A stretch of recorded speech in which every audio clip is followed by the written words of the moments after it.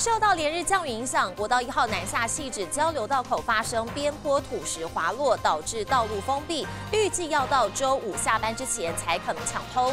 而一早南下车流及时路况一度紫爆，平面道路也跟着堵车，部分路段改道行驶。有民众就反映，通勤时段搭车比平常多出了半小时到一小时的车程。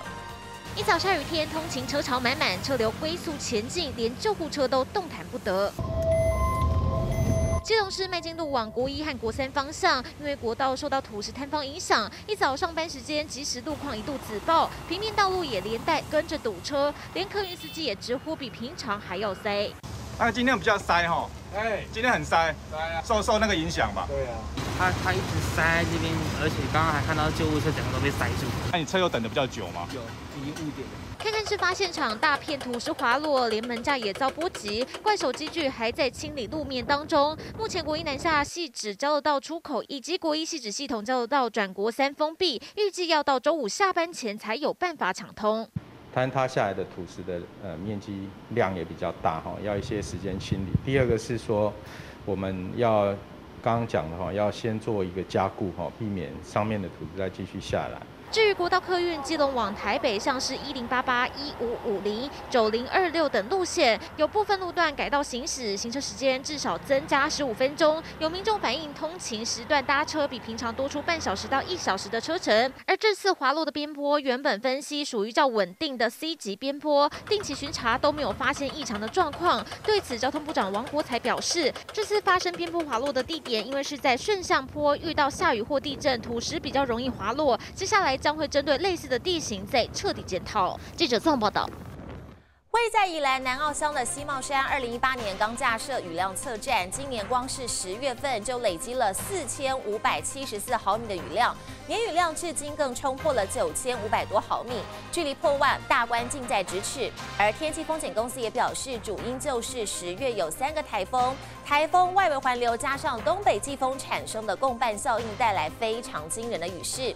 西茂山也很有机会成为台湾第一个年雨量正式记录破万的地。Yeah.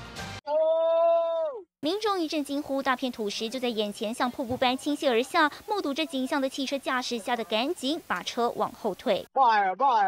宜兰连日豪大雨，造成苏花公路台九丁线三十八点九五公里处严重坍方。天气风险公司更点名宜兰南澳乡的西茂山，光是十月的累积总雨量就冲破了四千五百毫米，成为台湾史上月雨量冠军。以前大概十月大概顶多下个一波共班效应而已，但是今年来了三波，连续一波大概就下个十天。左右，如果从今年一月一号到这个十月三十一号，它已经有九千五百多毫米。同进西茂山十月份三十一天就有二十八天雨神同行，如果直接把西茂山今年的年雨量至今统计起来，也超过了九千毫米。也就是说，如果把雨水累积起来，足足有十公尺那么高，西茂山很有可能成为台湾第一个年雨量正式记录破万的地点。成因就在西茂山本身就是山头，除了平常的东北风之外，每年十月到隔年春天之前，大约二到三月这。期间受到东北季风影响，几乎每天都有雨，再加上台风季九到十月份，台风外围的东南风跟东北季风产生共伴效应，降下了惊人的雨势，造成的影响不容小觑。随时有可能，万一这个呃水土保持敏感的区域就很容易致灾。第二个呢，农作物可能就因为这样的天气极端化而做调整。毕竟西茂山附近有不少支流，得慎防泛滥成灾。而根据过往气象资料，清北市平溪的火烧寮曾在一九一二年创下年雨量八千多毫米的记录。以及万里的大坪在去年底以年平均雨量六千五百多毫米夺下了台湾降雨王头衔。但随着各地架设的雨量自动测站越多，说不定还有比西茂山更会下雨的地方等着被揭开。记者李素瑜、廖新宇台北报道。行人差点被砂石车撞上，惊险画面曝光。新北市土城一名砂石车驾驶行经路口的时候，发现路人闯红灯，虽然紧急刹车没有撞到人，但是后方车斗的泥沙水就像是瀑布一样往前喷，洒得闯红灯的女子全身都是。